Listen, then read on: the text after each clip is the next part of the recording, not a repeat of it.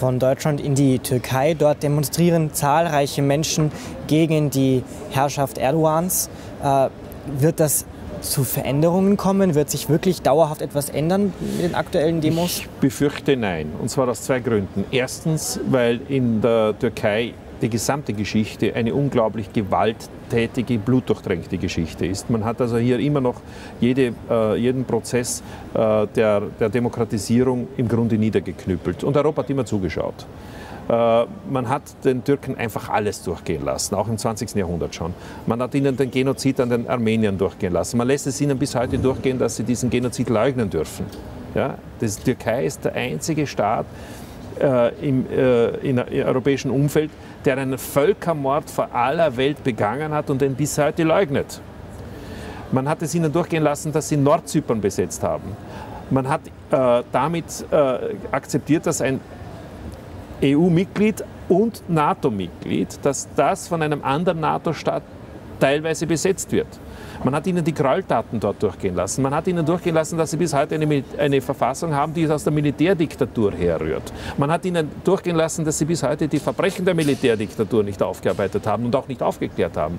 Man hat ihnen durchgehen lassen, dass sie einen Bürgerkrieg gegen die Kurden geführt haben, dass sie ganze Dörfer bombardiert haben, ganze Landstriche entvölkert haben. Das hat alles vor den Augen der Weltöffentlichkeit stattgefunden. Man hat ihnen das alles durchgehen lassen. Warum? Weil man immer vom türkischen Markt geträumt hat und sozusagen von den Exportchancen dort geträumt hat und weil man natürlich die Türkei als strategischen NATO-Partner äh, beurteilt hat. Nur das zeigt die Doppelmoral. Und diese Doppelmoral, die gilt es jetzt aufzuzeigen. Ich bin der Überzeugung, dass jetzt der Punkt gekommen ist, wo man der Türkei nichts mehr durchgehen lassen darf, sondern wo man die Türkei so behandeln muss wie jeden anderen Polizeistaat. Und nichts anderes ist es nämlich.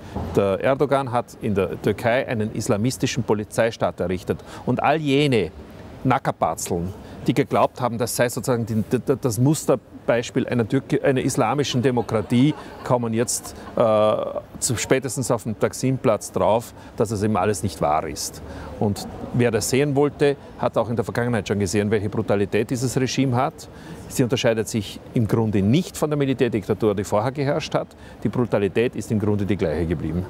Sie sagen, man hat der Türkei so viel durchgehen lassen.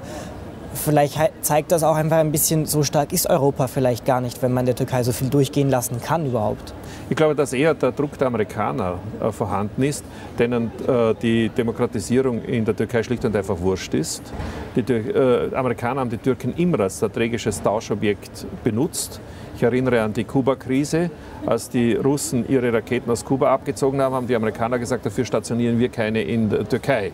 Das heißt also, den Amerikanern ist äh, die türkische Bevölkerung relativ egal, den Amerikanern ist Demokratie und Meinungsfreiheit und Menschenrechte in der Türkei relativ egal. Die sehen in der Türkei nur ihren strategischen Partner gegen die Russen und da spannen sie Europa vor ihren Karren.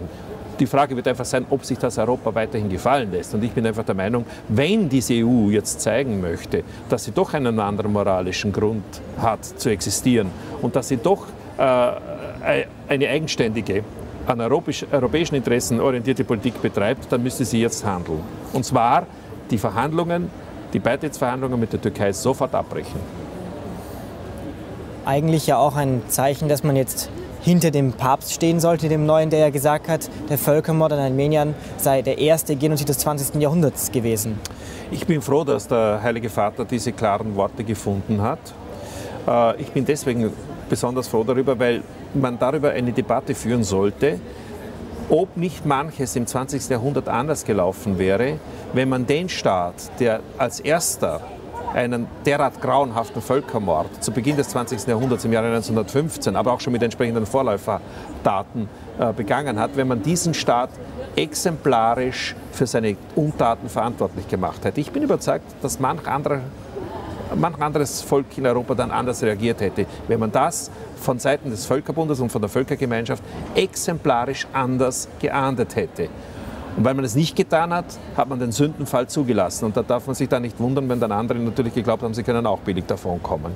Das gilt nicht nur für die Deutschen, das gilt auch für die Tschechen, das gilt auch für jene, die die Beneš-Dekrete zu verantworten haben, die die Vertreibungen aus dem Osten zu verantworten haben und die andernorts auf diesem Erdball Völkermord begangen haben. Und daher wäre es vernünftig gewesen und es wäre auch moralisch richtig gewesen, gleich beim ersten großen Genozid des 20. Jahrhunderts exemplarisch klarzumachen, dass die Völkergemeinschaft so etwas nicht akzeptiert. Die Türkei kritisiert den Papst heftig für seine Äußerungen. Äh, jetzt ist es so, dass die, dass, dass die diplomatischen Beziehungen sehr darunter leiden. Macht es überhaupt Sinn, an diplomatischen Beziehungen zwischen Heiligen Stuhl und der Türkei festzuhalten? Gefährdet der Papst nicht eventuell das Schicksal der Christen in der Türkei?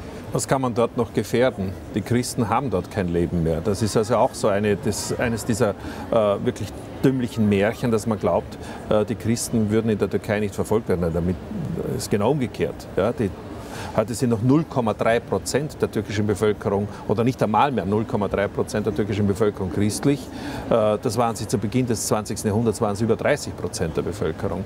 Äh, daran sieht man schlicht und einfach, was die Türkei wirklich ist. Es ist ein in Wahrheit islamischer, äh, fundamentalistischer Staat mittlerweile ein islamischer Polizeistaat unter Erdogan.